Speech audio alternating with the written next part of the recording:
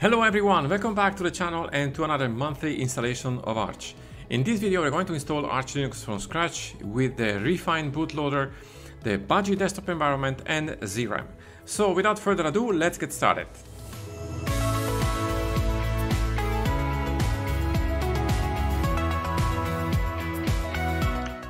So here we go guys, this is the Arch ISO for February 2022. Today we are going to install Arch Linux as usual, as we do every once a month. We're going to install it this time with the rEFInd bootloader, which is a bootloader for UEFI systems. And we are going to install it also with the Budgie desktop environment, which as you probably know is the desktop environment of the Solus distribution and also you find the Budgie desktop environment also on Ubuntu Budgie. So let's get started here. The first thing we need to do is to change, if you need to change it, is to change your keyboard layout. As you know, the root ISO here, the Arch ISO boots always with a US keyboard. So if you have a US keyboard, you are set to go. If not, you'll have to load your keyboard, which you can find with locale, ctl, and then list-keymaps this will give you a list of keyboards in the system that you can choose from. Now mine is actually right there, DE underscore CH. So I'm going to quit out and load the keys in the system by typing in the load keys and then the string. So DE underscore CH dash Latin one. Of course, replace this with your string. And this is now done. So next is to check if we have an IP. So let's type in IP space CA, which is going to show us the IPs in colors, which is a little easier to read. You can see that I have an IP ending with 109. Now your IP might be different, of course, but it shows us that we have an IP in our machine. Now this is because I have an Ethernet connection. You can see there my interface number two is ENP0S3. That's an Ethernet interface. If you have Wi-Fi, you can use the IWD utility, which you can access with IWCTL and then hit enter. Now, usually here you would probably type in something like station and then the name of your Wi-Fi adapter, if you have one, it could be something like WLAN0 or something else. You need to replace this with your Wi-Fi adapter name and then connect and then with the Wi-Fi network you want to connect to. So in my case, it will be something like EFTech, for example, 5, which is the name of my network here at home. And once you hit enter there, you will be asked for the passphrase for your network. Once you enter the passphrase, you will be brought back here to the IWD prompt, and you can exit by hitting Control D on the keyboard. Now, once you're out, check again your IP by typing again IP space A or IP space dash CA, just to make sure that you have an IP. Now, if you have an IP, we can check if we can synchronize the repositories by typing in pacman-sy. And you can see we are synchronizing just fine. So that means we can access our repositories. Now there is one step that I want to mention also this time is to synchronize the network time protocol. To do this, we need to type in time date ctl and then set dash ntp equal to true and then hit enter. And this is also done. So let's clean up the terminal with Control L and type in lsblk to check our disks. Now it's time to format and prepare our disks for the installation. Now in my case, I have a disk there called SDA. This is a virtual machine here. It's 64 gigabytes in space and that's the one I need to partition. So because it's a UEFI machine, I will need to use here a GPT label tool, so to say. So I'm going to use gdisk, which is coming already pre-installed in the root ISO. Now to do this, I'm going to type in gdisk slash dev slash SDA. This is the device path. And you can see the disk is brand new, so it's creating new GPT entries in memory. Now I'm ready to create the first partition, which is going to be my uh, EFI partition. That's mandatory on a UEFI machine. So I'm going to type in N for new, and I'll accept the default for the partition number by hitting enter, and the same also for the first sector, which is going to start the first sector not at the beginning of the disk, but slightly after. Now the last sector defines the size. So for the EFI partition, I'm going to go with plus 300 megabytes. That should be plenty. Now the code is not actually A300 because that's Linux file system. The code for the EFI partition is EF00. And this is now done. Next, I'm going to create the root partition. So I'm going to create again new. Partition number two is fine. The first sector here is also fine. And the last sector again defines the size of the root partition. So right now I have 64 gigabytes of space in my disk. So I'm going to create a root partition for let's say 30 gigabytes. That should be actually enough. Now the file system is going to be Linux. So A300 is fine. So I'm just going to accept the default here. And now we can create the home partition. So I'm going to hit N again.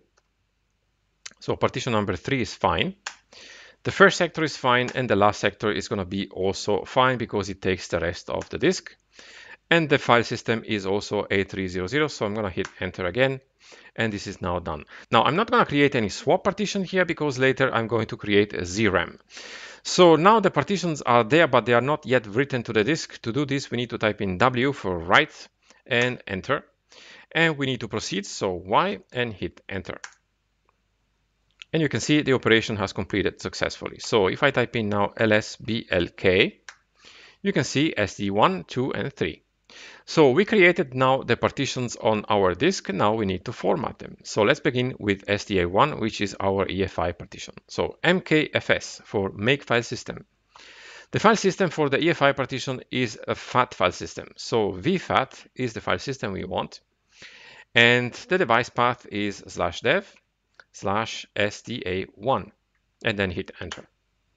Now we're going to format also SDA2 and SDA3. So let's type in mkfs dot. The file system in this video is going to be ext4. I've been using Btrfs in the last video. And then the device path is slash dev slash SDA2 and then hit enter. So I'm going to repeat the same process for SDA3 and I don't want to type again everything. So I'm just going to pull up the last command with the up arrow and replace SDA2 with SDA3. And now our partitions are formatted. Now we need to mount them. So lsblk again, just want to have them in front of me.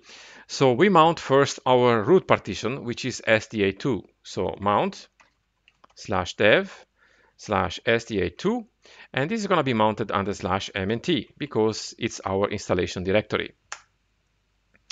Now we need to mount also SDA1 and SDA3, but we need to create the directories for those partitions. So let's create them by typing in mkdir for make directory, then dash p, and we're going to create them under slash mount because again, this is the directory which is already existing. And I'm going to open the curly brace here and I want to create two directories. One is the boot directory where the rEFInd bootloader is going to be mounted and also the home directory for my home partition and then hit enter. So now we can mount SDA1 and SDA3 respectively. So let's begin with the EFI partition. So mount slash dev slash SDA1. We're going to mount this partition under slash MNT slash boot and hit enter. And we're going to repeat the same process for SDA3. So mount slash dev slash SDA3 on slash MNT slash home and then hit enter again. So lsblk, just to recheck our partitions, you can see there the mount points. SDA1 is on boot, SDA2 is on MNT, which is the basically the root directory, and SDA3 is on home. So we are ready to install the base packages of our new Arch Linux installation. To do this, we can type in pacstrap slash mnt. So we are basically installing the packages in the mnt directory because it's our installation directory where the system is going to be installed. And the packages are going to be the base package, the Linux kernel. In my case, you can install also LTS if you want with linux-lts or linux-zen if you want. In my case, though, I'm going to install the latest Linux kernel, so Linux is fine. And then I'm going to install also Linux firmware which by the way has been changed since a few weeks. Now the Linux firmware before was including a lot of firmwares together, but it has been split in several packages. So if you need some specific firmware for specific devices in your machine, you need to check the ArchWiki and install the appropriate one. Now the Linux firmware package should be actually enough in most cases, but if not, make sure that you check the ArchWiki for other packages for other firmwares as well. Now I'm going to install also Git and Vim because I'm going to need them afterwards. If you don't like Vim, you can install also Nano or Emacs, is up to you. And I'm going to install also intel-ucode because this machine has an Intel processor. If you have an AMD processor, of course, you can install amd-ucode. And that's good for me, so I can just hit enter. and this is going to install the base packages. So depending also on your internet connection, this is going to take some time. So I'm going to pause the video here, guys, and I'll be back with you once it's done. So there we go. The packages are now installed and you can see here we have some warnings about possibly missing firmware. Now, some of these were always there, but we have some others because the Linux firmware package has been split. So we have some firmware which is missing. It doesn't mean that your machine does have these devices, but it's just a warning. In case you need firmware for these devices, you will need to check the ArchWiki and install the proper package. Now we install the base packages. Now we need to create the file system table for our mount points. So to do this, we have the gen fstab script, which is already in the ISO, dash capital U, because the file system table is going to be created by using the UUIDs of the partitions, which are unique identifiers. And we're going to take the mount points we have under slash mnt, and we're going to append this information into slash mnt slash etc slash fstab. Now you might wonder, what the hell are these etc fstab because we didn't create them. Well we didn't but when we installed the base packages they were created automatically. And now we need to put the informations of our mount points into the fstab file which is responsible for the mount points of our new installed system when we reboot the machine. And we can check this once we enter the installation now that is done, so we can enter our installation by using the arch-chroot uh, command slash mnt. So we are entering the mnt directory, and now we can see all the packages we installed before. So if I type in in here, for example, lsblk, you can see the mount points there are not anymore slash mnt slash boot and slash mnt slash home, but slash boot and slash home, because we are now in the slash mnt directory. Okay, so now it's time to install the rest of the base system. Now, in this video, I'm going to use again one of my scripts, which is just a collection of commands to install Arch line by line, just in a shell script. It's not a fancy script or anything like that. It's just a script which contains the basics command for installing Arch. Now, in the last two videos, for the last two monthly installation, I went through line by line. If you want to see that, go ahead and check my previous monthly install. Now, the script is on GitLab, so I need to clone my repository by typing in git clone and then https colon slash slash and then gitlab.com slash ef linux slash arch dash install dash base. Now, this is actually my private repository. If you want to install it with the script, I have a link to my public repository in the video description. So replace arch install base with the name of the repository you find in the description because there you will not be asked for any authentication. So once you're done, we can hit enter here. I need to authenticate because this is a private repository. And I need to enter my password. And now my repository is downloading. And if I type in ls, you will see arch install base is the first one on the left.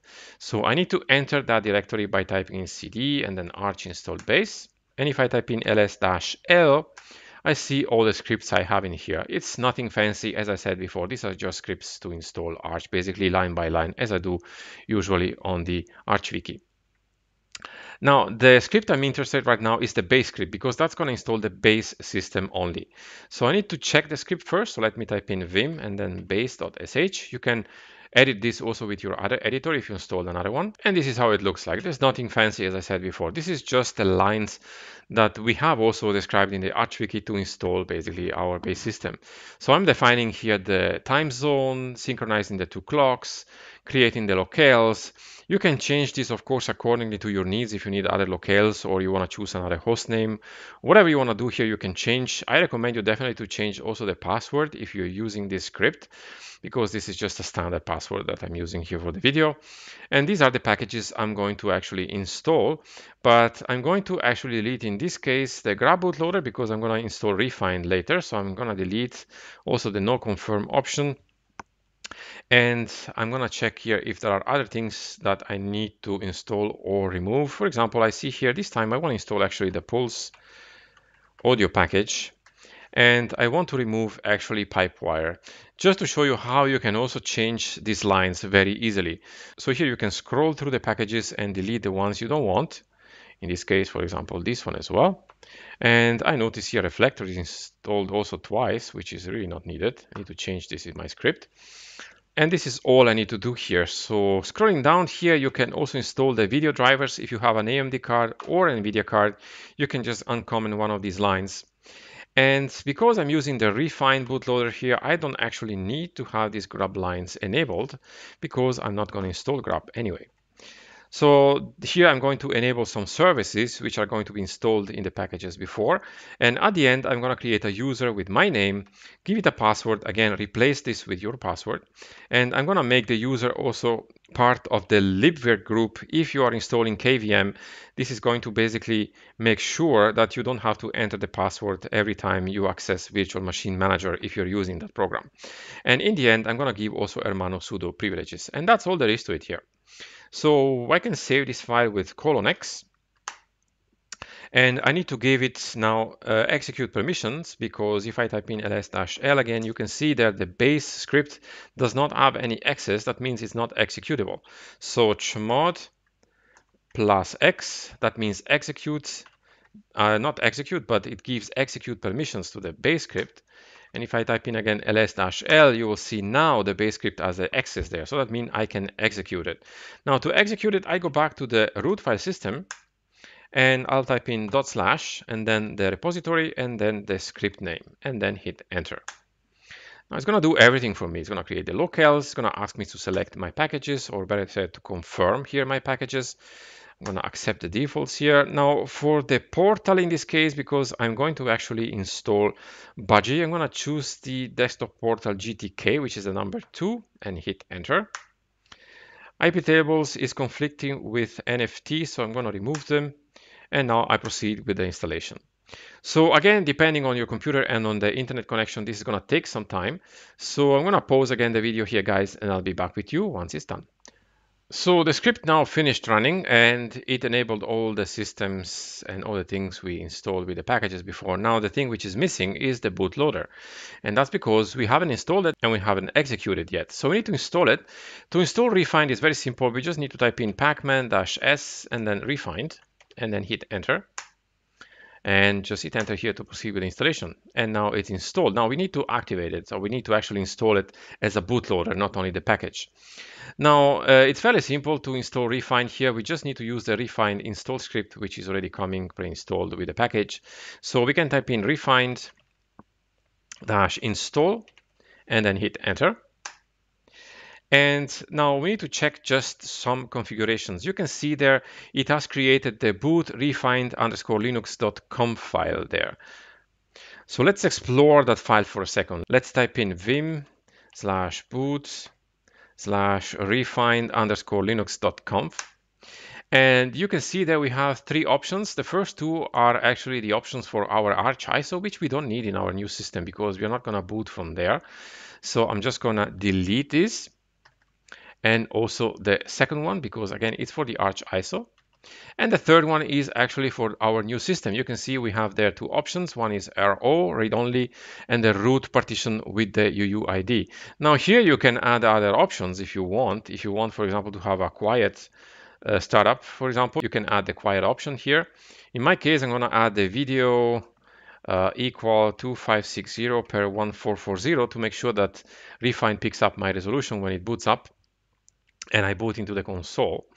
And that's basically all there is to it. Now, this is up to you if you want to have the, quiet option or not. It's not going to display anything on the screen. But in my case, because I'm not yet finished installing, I want to make sure that I see what's happening when I boot the machine. So I'm going to remove it for now. And then I can save this file and exit Vim. Now, some steps that you need to take before rebooting the machine. The first one is to check the mkinitcpio.conf file.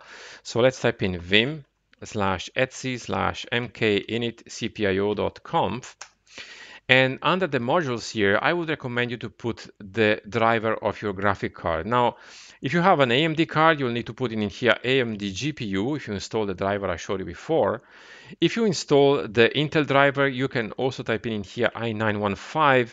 The Mesa driver, which is already coming pre-installed, you don't need to actually add it here. And if you're using the NVIDIA card, you just add in here NVIDIA. Now, once you have done your changes, I don't do this because I don't need, you can save your file in exit vim. And you need to regenerate the initramfs by typing in here mkinit cpio-p and then Linux. And that's because I installed the Linux kernel at the beginning, you remember. If you install the Linux LTS kernel, this is not Linux, but Linux-LTS or Zen, replace it accordingly. Then once you hit enter, basically the init RAM will be recreated with the new driver embedded. So you will be sure that you have the driver up and running when you reboot your machine. Now, once this is done, you can basically type in exit and umount uh, dash R on slash MNT to make sure that you unmount all the partitions. And now we can reboot our machine by typing just simply reboot. It's going to take a moment to do that. And you can see here we have our rEFInd bootloader. Now you can see here we have a boot VM Linux Linux from EFI system partition. We have a fallback bootloader here, and we have also the Arch ISO EFI because the Arch ISO is still actually in the system, but I'm not going to boot up from there this time. Now there is a way also to show the Arch Linux logo here on your main installation. To do this, we need to change the label of the EFI partition. So let me boot up the machine. I could have done this actually before. It's going to take a moment to do this. So I'm going to log in here with my username and the password. And to change the label of the EFI partition, remember the EFI partition is LS with lsblk SDA1. So to change the label, you can type in sudo fat label slash dev slash SDA1 and then the label you want to give. Now in this case, you need to give the name of your distribution. In my case, it's Arch in capital letters. And that's because if you don't, it's going to complain that with lower letters, it's going to have problems. So then you can hit enter here and enter your password. And I think I need to type it correctly for it to work. still having problem with my password. Okay, so I think now it should work. There you go. So if we reboot the machine again, now we should see actually the bootloader also with the Arch logo. As you can see here, it picks up the logo automatically. So I did another video also how you can customize rEFInd. So if you want to customize it with other themes and stuff like that, you can check that video up. Now let me enter my password here, the user and the password. And now we are ready to proceed installing the rest of our system. So let me clean up the terminal. And you remember we installed the base system from the script I had. That's still in the root file system. If I type in here ls on the slash on the root file system, you will see arch install base is the first one there. So I need to copy this into my home directory. So to do this, I can type in cp-r because I want to copy everything in the directory. That is recursive. And the directory is arch install base. I'm going to copy it here in this directory, which is my home directory. And that's represented with the dot. So now if I type in ls, you can see Arch install base, it's in my home directory. And if I type in ls-l, you can see it belongs to me. Ermanno is the first Ermanno on the left is the user, and the second one on the right is the group. So it belongs to me, and it has the correct permissions. Now let's go in there, cd arch install base, and again ls-l, so you can see the base package, the base script actually, it's executable. It has also colors. Now I don't have any budgie script here, so I need to modify one of the scripts I have. And I'm gonna do it this way because I wanted to show you also how you can modify the scripts the way you want to to fit your needs basically. So what I'm going to do here, I'm going to use the GNOME script and I'm gonna change it and install the budgie desktop environment. So let me open up the script by typing in vim and then gnome.sh. And here, basically, it's doing some things. So it's creating my mirror list, synchronizing the network time protocol again, synchronizing one more time the repositories, opening the ports in my firewall, and installing also the packages for my desktop environment. Now, because I'm going to install Budgie, I don't want to have the GDM uh, display manager here. So I'm going to remove it. I'm not going to have the GNOME extra packages, but I do keep the GNOME package because it's providing the GNOME shell, which is actually better to have for the Budgie desktop environment. As you probably know, Budgie is also based on GNOME, and having the GNOME package provides a better experience.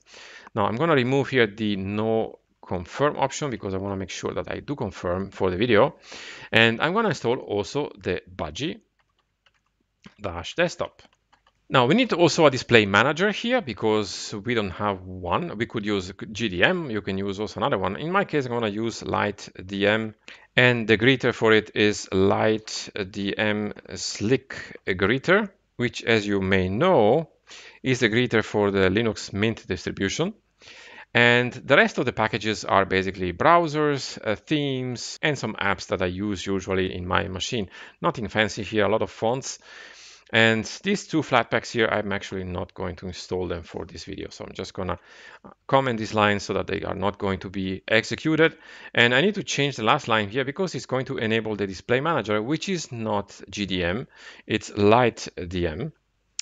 And the last lines here are basically telling me that it's going to reboot the machine automatically. Now, I'm not going to do this for the video, so I'm just going to comment these lines here so they are not going to be executed.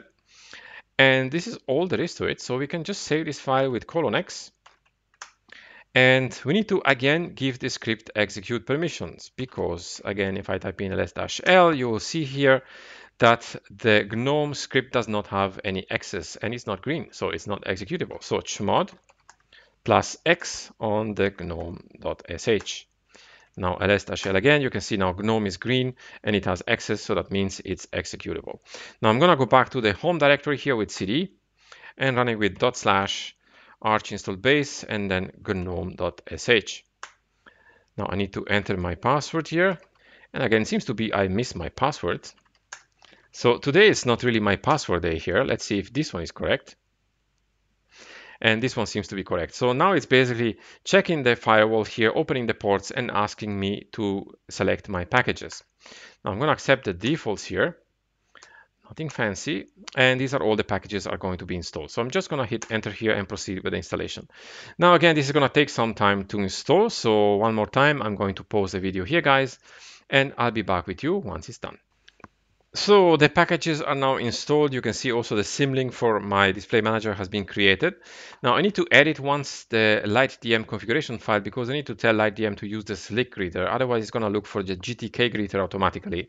So sudo vim slash etc slash lightdm and then lightdm.conf um, scroll down here with Control F until you find the seed group and check for the greeter session. So we need to uncomment this line by removing the hashtag and replace the line here with light dm dash slick dash greeter.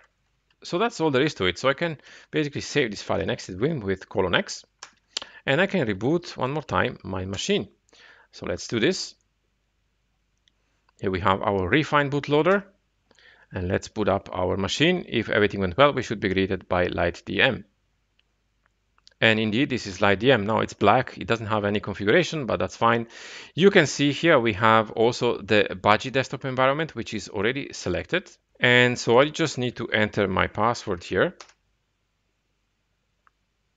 And here we are in the Budgie desktop environment. Now this is not customized. I did videos also for the Budgie desktop environment. So if you want to customize the Budgie desktop environment, you can check that video up. But just to show you here how you can do it very quickly with these packages, what I installed, you can go to the Budgie desktop settings here. You can select the style for the widgets. For example, let's go with Arc Dark. And for the icons, I'm going to go also with Arc. So it's going to change also here. And let's see, for the desktop, it's good. The fonts are also fine. Raven is basically the panel which is appearing here on the uh, right side of the screen. And also the top panel, which can be also changed. So for example, if you go to settings, we can say we want to have it at the bottom. That's also possible. And you can change also other options here. Now here we have our menu with all our programs installed that I installed during the script. So you can open up, for example, your browser here and we can check, for example, let's say we can check Budgie, Arch Linux. And let's select here the first link. This is the Arch Wiki. And you can see again the installation. Now, one thing here, enable the lock screen because the package is not actually installed by default. So what we do here, we open up the terminal and we can install it very simply by using the sudo pacman-s. And the package name is, as you can see there, budgie dash screensaver. And then hit enter. enter your password, and install the package. Now it's going to be active once you log out. So let me close this window here. We can click here on the button and click my name and click logout. And you can see also now the uh, display manager picked up my wallpaper. So I need to enter my password here again. And we are back here in the desktop. So we can now click here and click, for example, lock. It's going to lock the screen, which looks not really fancy, but it does the job. So we can enter the password and we are back in the desktop. Now here we can change, of course, some things. I'm just going to show you this very quickly. If you right click on the desktop and go to desktop settings, we can go to the panel and let's say, for example, that we want to have the clock here in the middle. So you can see I just click the up arrow here and the clock is now centered. You can add also other applets or remove them if you want. You can add them from here. And the other thing I want to show you, for example, if we start here the browser, let's go to Firefox you can always pin here programs on the taskbar by right-clicking and clicking the star. So when you close the window, it's going to be always there for you. So this is just a very quick introduction here on the Budgie desktop environment. As I said, I have other videos on that on the channel that you can check. Now, if you type in free-h, you can see we are using about 536 megabytes of RAM. So let's do the last step in this video. Let me increase the font sizes here. You can see better. And what I'm talking about is if I type in lsblk, you can see we don't have still our ZRAM set up. So you remember at the beginning of the video, I didn't create any swap partition or anything like that. And that's because I want to use the ZRAM, which is going to improve the performance of my machine. So I'm going to use a package which is in the AUR, which is called the ZRAMD, which is going to create ZRAM using the ZSTD compression type, which is the one I like.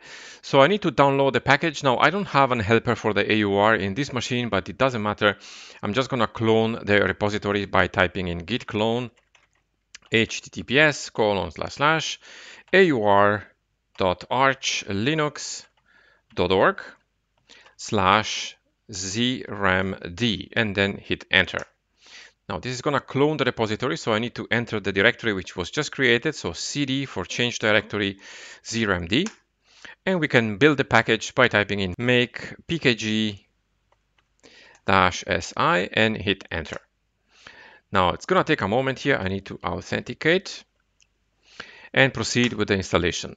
Now this is written in Go, so it's going to install that first and then download and build the package. So this is going to take maybe one minute. So I'm going to pause the video here again, guys, and I'll be back with you in a moment.